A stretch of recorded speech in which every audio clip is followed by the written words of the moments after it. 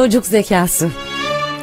Dev bir kamyon bir üst geçidin altından geçerken yüksekliği fazla geldiği için sıkışmıştı. Bir türlü oradan çıkamıyordu. Polis sorunu çözmek için hemen kentin en parlak mühendislerinin gelmesini istedi ve getirtti.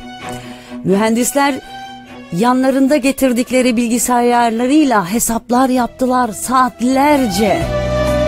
Aralarında tartışıp e, istişare ettiler, uğraştılar. Ne var ki bir türlü üst geçide zarar vermeden kamyonu oradan nasıl çıkaracaklarına karar vermediler, veremediler.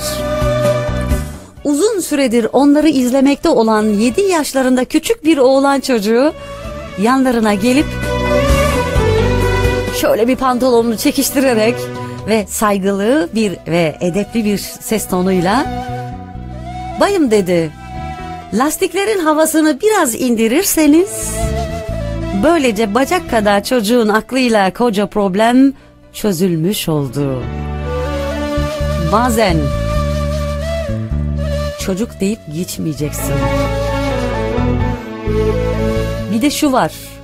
Aklın yaş yok diye düşünüyorum zaman zaman. Aklın yolu bir bir de aynı zamanda. 足利。